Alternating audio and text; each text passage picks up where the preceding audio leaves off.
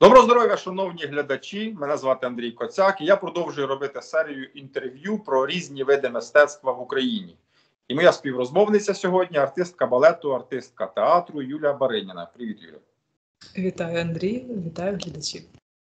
І, власне, про що будемо робити випуск з артисткою балету?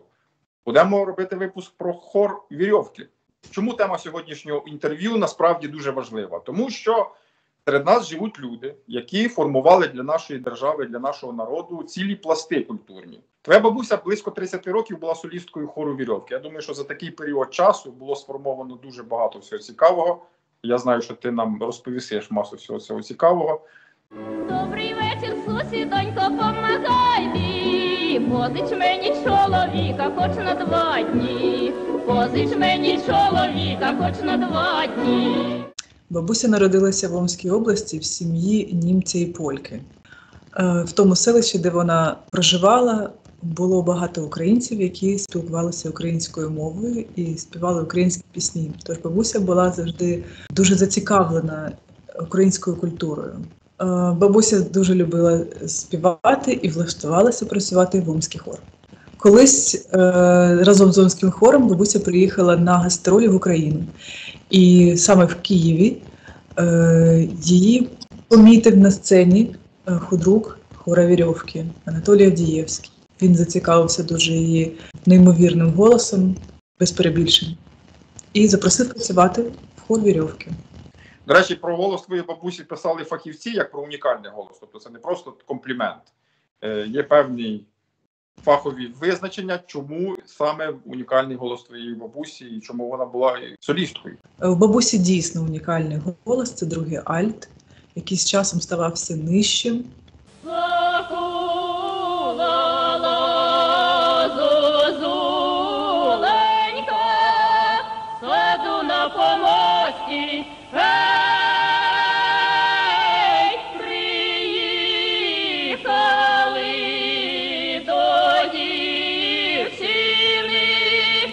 Навіть чоловічі партії їй було легше співати тенорові, ніж жіночі, бо там було де й розвернутися її голос унікальному.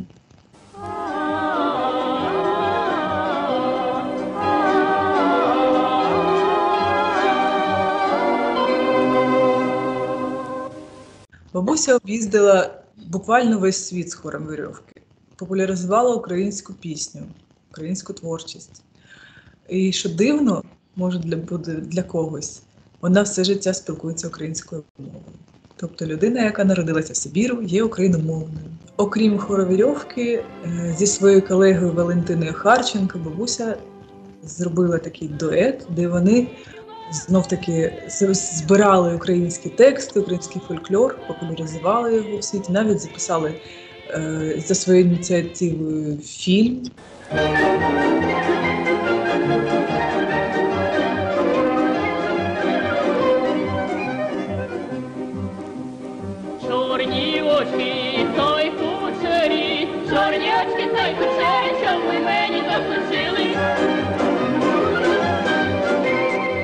Це все було зроблено поза межами хора вірьовки, лише на ентузіазмі.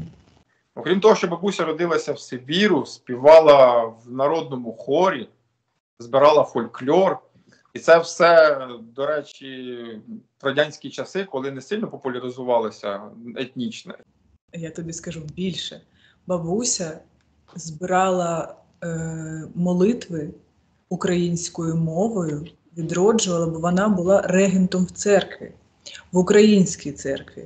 В той час, коли всі вважали, що московський патріархат це правильно.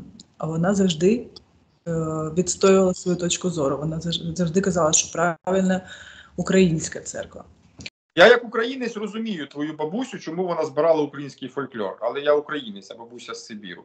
Я знаю, що український фольклор надзвичайно глибокий, в тому числі є багато духовних пісень, е, пісень релігійного характеру, народних пісень релігійного характеру, молитви українською мовою і так далі. Яким чином вона це адаптувала в церкві? У випадку бабусі вона навчала з нуля людей без музичної освіти, нотній грамоті, і як співати правильно, і не один хор церковний навчила співати українські молитви.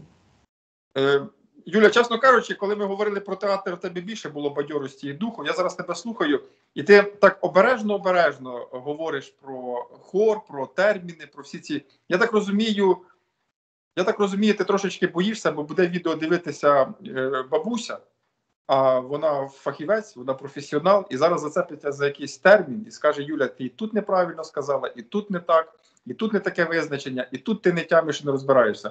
Що називається внучка артистка балету розповідає про бабусю професіонала хора. Розкажи, будь ласка, просто життя, тому що я розумію, що що буде дуже уважно і прискіпливо бабуся слухати, як ти дала оцінку її професійній діяльності, а просто вживу, десь в житті, десь не знаю, сімейні свята, якісь е, можливо гості приходили. Е, до речі, сімейні свята. Як у вас проходили сімейні свята в сім'ї, де професійні співаки? Ой, Андрію, громко, гучно. Гучно. Коли е, бабуся і дідусь збиралися за одним столом, це може якась була така трошки гонка голосівку краще. Досі маю таку травму, як співаю, то я тікаю. Бо я як дитина не витримувала того всього, як починалося там оце все. Але в них дуже насправді професійні голоси, і е, вони розраховані на інші об'єми. Це не, не, не для е, не для застольного співу, а для сцени. То ти розумієш, що там такі децибели, що я там поруч просто вяну е, з, з, з такою міцю. Тобто, по великому рахунку, коли співалося в квартирі, то потрібно було клеїти тейпом чи скотчем по склу, щоб не полопалося від звукових вібрацій. Не топила, не горіло,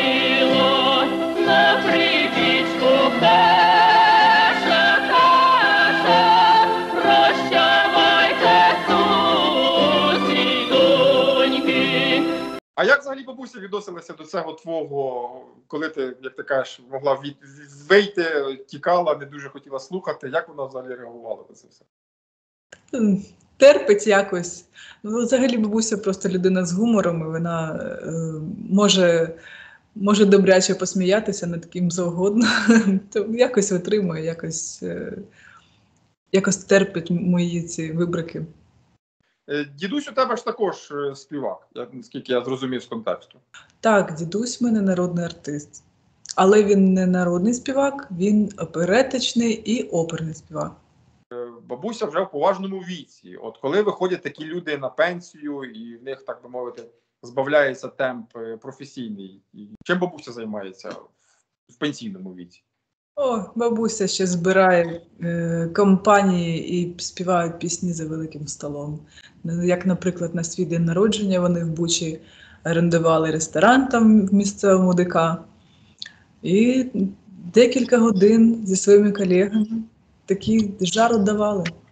Але це все було до повномасштабного вторгнення. На жаль, бабуся е, пережила окупацію в Бучі, того запалу вже нема щоб прям там збирати, збирати компанії і співати. Тобто бабуся весь час всю окупацію пробула в Бучі. Я правильно розумію? Так, вона пробула в Бучі, ми не мали з нею зв'язку. Лише сусідка якось десь там на секунду дозвонювалась до матері і казала жива, і вимикала телефон. Ми таким чином тільки знали, що вона жива. Хоча вона дуже погано себе почувала, і саме там стало погано, лікуватися не було можливості, е, звісно, і ліків не було, і випускали їх е, рідко. Ну, Вона майже не вставала, і прорватися до неї ми, на жаль, не могли. І просто е, навіть як як, як ти не віруюча людина, то знаєш, ти в той момент звертаєшся до Бога. Всі ми розуміємо, що артиста якийсь час закінчується сольна кар'єра, закінчується гастрольна кар'єра, молодим дають дорогу. Чим займаються артисти після того, як в них закінчується сольна і гастрольна кар'єра? Ну, звісно, згадують хохми, які були за часів гастролювання. Ці хохми вони травлять, е, згадують так смішно, як там на, на, на зелені концерти, наприклад, могли вийти на сцену з замазаними там гуталіном якимось там чи активованим вуглем, зуби, е, наче у них нема зубів. Ну, це такі кормлять їх такі згадки, по-перше. По-друге, після е, того, як вона закінчила артистичну кар'єру, вона не зупинилася зі співами, вона почала бути е, викладачем. Вона працювала ще багато років викладачем, випустила для хора вірьовки, е, навчила багато артистів ще. Окрім того, ре- регентом вона працювала в церкві, тобто її діяльність не зупинилася в жодному разі. Мене ж цікавить ця деталь про зуби гуталіном. Це якісь такі жарти артистичні. Це я не, не знаю, просто ніколи не чув.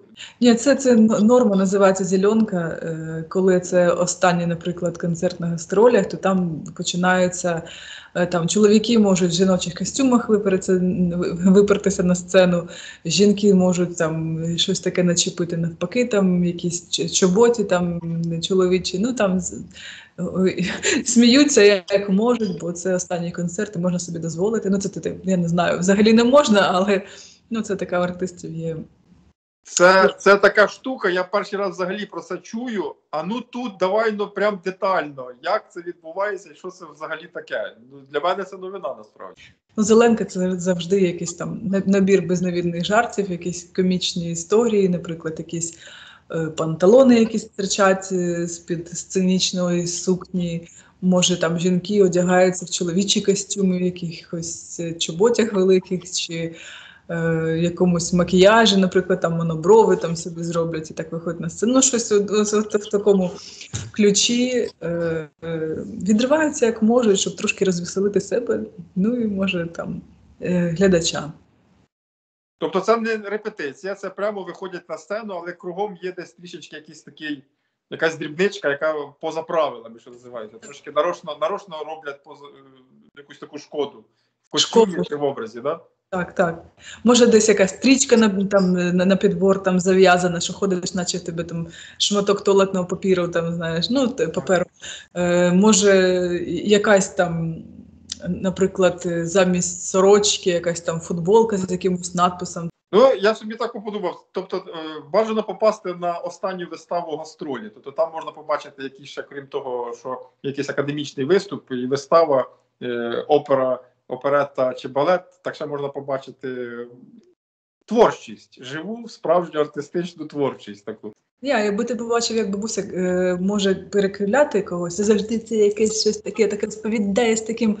Е, Ну, дуже гуморна людина і дуже артистична і кумедна, як вона щось таке розповідає, то там можна е, пузо надірвати. І вона дуже начитана людина, вона дуже цікава людина, вона багато чого знає, крім того, що вона ну, комедії якось може розповідати, вона дуже може підтримати таку цікаву бесіду. З нею дуже цікаво по- поспілкуватися. Юля, дуже дякую, що розповіла цікавих історій про свою бабусю. Від себе особисто висновком, що би ти хотіла сказати до цієї нашої розповіді? Ой, до цієї розповіді, може, я поділюся знов своїм волонтерським, як ви не проти. Ну так, звісно, давайте. Е, Супер. Е, Наразі я закінчила курси. е, Курси зі збірки FPV-дронів, інженер-дронів. І відкриваю новий збір на комплектуючі для дронів. Все кажемо внизу, підтримуйте нас, будемо крошити. Так би мовити, за проведені дні бабусі у окупованій Бучі внучка дасть відповідь. Обов'язково. Вже даю, е, далі буде. В описі під відео я залишу посилання на Юліну банку. Дякую всім глядачам, що додивилися до кінця. Юлі ще раз дякую, що знайшла час і знайшла що розповісти. Всім гарного дня. Пока. Дякую. До побачення.